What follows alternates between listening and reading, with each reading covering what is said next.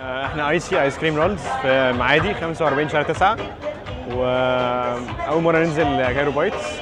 ويعني لطيف الجو جدا يعني. بس عرفنا ناخد رأي ناس في الحاجة اللي إحنا بنقدمها. فالناس قالت لنا يعني يمكن حتى لاقوا كذا ايس كريم موجود في في ال event هنا وقالوا لنا رأيهم.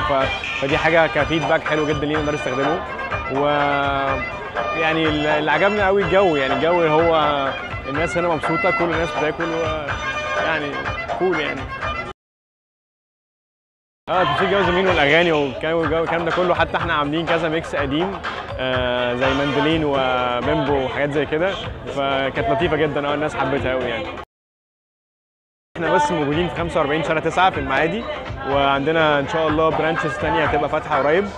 آه بس ذاتس ات أكيد إن شاء الله.